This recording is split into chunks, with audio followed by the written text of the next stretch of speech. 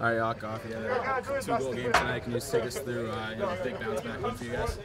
Uh, yeah, absolutely. Like uh, last game, we tied uh, against a tough team, Quinnipiac, and uh, it was like kind of you know uh, after that game, like uh, finding the focus again, and then we came back on the field and we showed a really good uh, mentality. Mentality piece was good uh, from the team, and and you know uh, me scoring two goals was amazing. Uh, also, like uh, really relief, big relief for the team. You know, when you get a uh, early lead on, like 1-0, and then later on 2-0.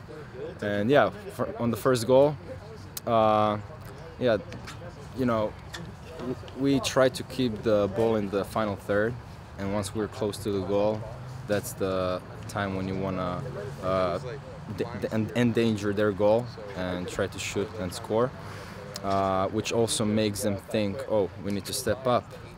But uh, you know, it spreads their game. So first goal, yeah, it was a great shot, and I'm really happy for that.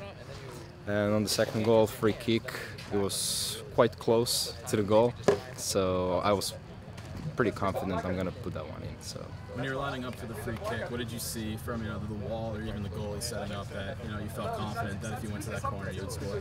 Yeah, uh, since it was like pretty close to the goal, it was like kind of tough to put it over the wall.